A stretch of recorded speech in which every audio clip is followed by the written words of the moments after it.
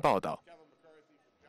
那么贝纳突然宣布辞职，可以说在共和党的国会党团里引起了不少的混乱。有多名议员宣布他们要参选议长。那么就在上个周末，传出消息说，威斯康星州的众议员，也是2012年罗姆尼的竞选搭档保罗·瑞恩，很有可能也会投入这场竞争。在我们今天的小夏看美国栏目当中呢，龚小夏就要来为您解读这条非常重要的政治消息。我们先来欢迎小夏，小夏你好。谢谢。我们先带我们的观众朋友来了解一下，简单的看一看到底美国国会的这个议长、众议院这个议长的职位，它的重要性有多高？是通常是如何来产生的？议长是美国政治中第三号人物，所以是非常非常重要。当初在设定宪法的时候呢，因为当时设定的国会啊，参议院是由州议会选的，不是民选的，只有众议院是民选的，所以美国国父就认为应该把权力呢交在重心放在众议院。所以呢，你看总统、副总统是第一、第二号，第三号继承人。就是众议院的议长，所以这个议长的位置非常非常重要。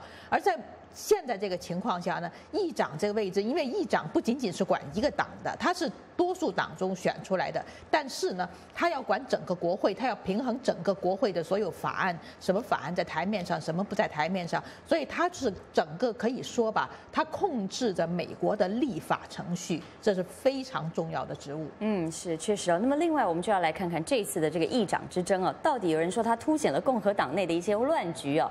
那么我们看到了，从原本这个被视为是国会共和党内的第二号人物麦卡锡，他突然宣布他也不选了。那么接下来呢？现在大家又把焦点转向保罗·瑞恩。为什么瑞恩在这个周末有可能会改变他的意向？他本来不想选的，不是吗？他本来说了不选不选，一次一次问都说不选，因为他是有选总统的野心的人。他上次选副总统，这瑞恩非常年轻，现在四十五岁，他二十八岁就选进国会了。当他选进国会当议员的时候，他跑到国会去，国会那些看守说证件呢？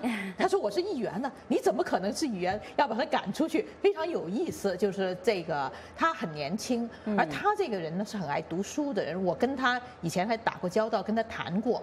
当时我还我也以为他是个什么助理啊、实习生之类。谈起来才聊一会儿才知道他是议员，因为我我们有很多共同喜欢的书。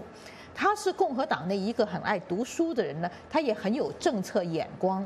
他的长处是处理各种财政事务，所以他现在是美国。这个国会的税收委员会的主席，他很喜欢很喜欢这个职位。原来他在财务财政委员会嘛，他都喜欢处理这个事情。现在一要当议长呢，就要处理党务了，所以他很头疼，他不愿意当。但是呢，目目前在共和党里能镇得住就四十个议员组成的极少数派，他们叫做就自由党团。这个自由党团是极端保守派，能够镇住他们的人不多。呃，瑞安是其中一个，所以大家都在推他竞选，而且是希望他那个那个以后呢，能够就是给共和党就能把把把党团活动组织起来吧。可是有一条要知道，美国历史上从议长职务做到总统的所有总统里只有一个，所以可见议长当总统不容易。为什么？因为议长处理太多党团事务了。是，或许这也是瑞安非常排斥的一个最大因素。好，我们谢谢小夏来到。